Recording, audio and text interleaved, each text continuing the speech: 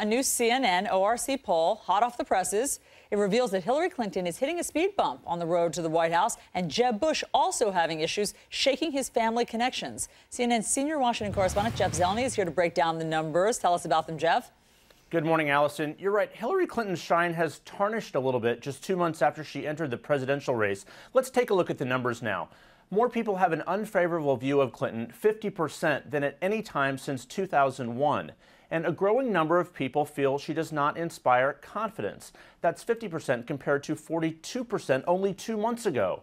And now only 42% of people say she's honest and trustworthy. That is down from 50% in March. So, Alisyn, it appears some of those early controversies are causing perception problems for her, certainly bringing her back from those high approval ratings during her eight years out of politics. But there are also some warning signs for Jeb Bush.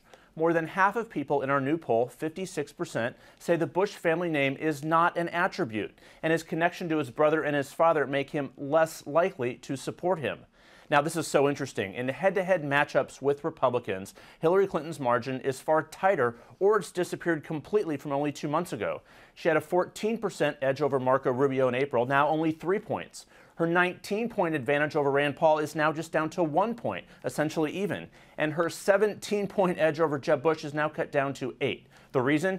Independent voters are shifting. Men have moved toward the Republican.